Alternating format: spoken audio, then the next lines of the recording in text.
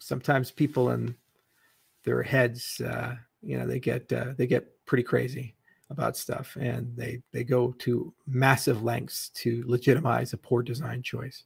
As you see at Facebook, like Mark Zuckerberg loves PHP, so he created language hack just so they can keep writing in PHP, even though it's really not an ideal language for what they're doing.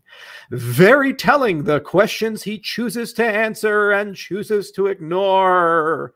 What am I ignoring? Is like questions come in a mile a minute. Go ahead and tell me what you like.